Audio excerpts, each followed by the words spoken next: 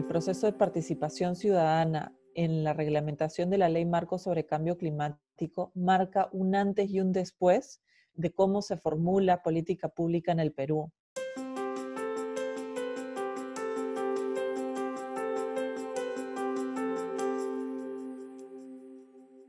El rol de, la participación ciudadana en la política de cambio climático del Perú es clave.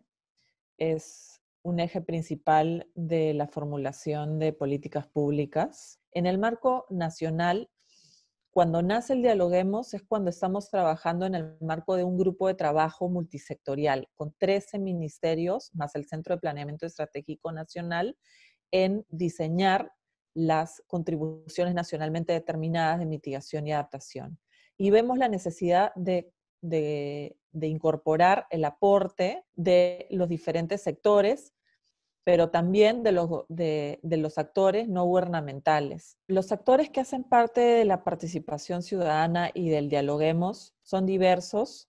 Puedo comentarles de 10 tipos de actores.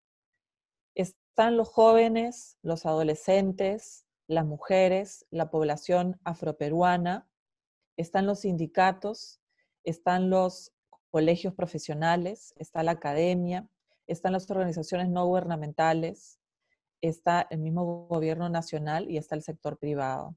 Son más o menos 10, tipos de actores que pueden hacer parte. Y cada uno es un universo distinto. Cada uno puede aportar de una manera distinta. Ahora, ¿qué logramos con el, con el dialoguemos? Nosotros hemos logrado compartir las 153 medidas de mitigación y adaptación con la sociedad. Hemos logrado eh, compartir con 22 gobiernos regionales, ¿no? que ellos contribuyan a el diseño de estas contribuciones nacionalmente determinadas.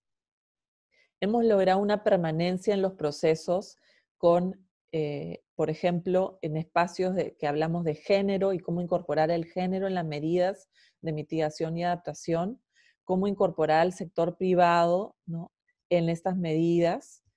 Eh, entonces, nosotros realmente creemos que este, este es un modelo de participación ciudadana exitoso, ¿no?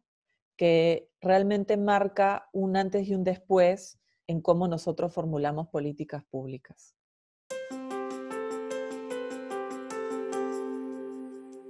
Los pueblos indígenas han incorporado dentro del reglamento de la Ley Marco sobre Cambio Climático una visión, una cosmovisión del mundo que nosotros no hubiéramos podido sin ellos. En respuesta al derecho colectivo que tienen de ser consultados, ¿no?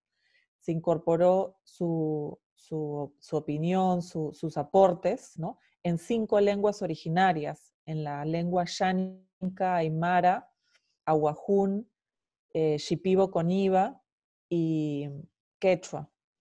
Ellos han hecho prevalecer los derechos de, los pueblos indígenas en el Perú. ¿no? Y nosotros lo que realmente nuestro rol ha sido informar sobre la ley marco de cambio climático en, estos, en estas cinco lenguas originarias para recibir mucho más a cambio. Desde el gobierno nacional podemos creer que las normas, que las leyes pueden ser efectivas en su implementación, pero realmente necesitamos esa retroalimentación, esa incorporación de, de elementos clave que solamente nos puede dar los diferentes miembros de la sociedad, como son, por ejemplo, los pueblos indígenas. Con ellos lo que podemos hacer es política pública efectiva y exitosa. en esta coyuntura del COVID-19, nosotros tenemos que aprender a formular políticas públicas y generar estos espacios de participación vía remota.